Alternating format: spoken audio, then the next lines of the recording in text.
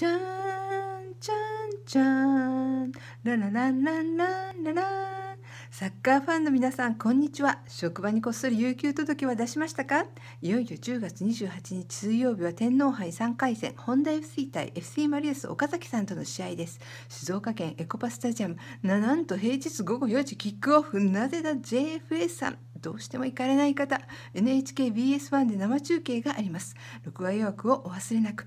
そして私と一緒に職場でこっそり速報チェックなんてしませんよね。そういえば週明けイレブンというサッカー情報 YouTube 番組でマリアスの茂庭照之選手が天皇杯でホンダ FC を倒したいですね。とおっしゃっていました。怖いですね。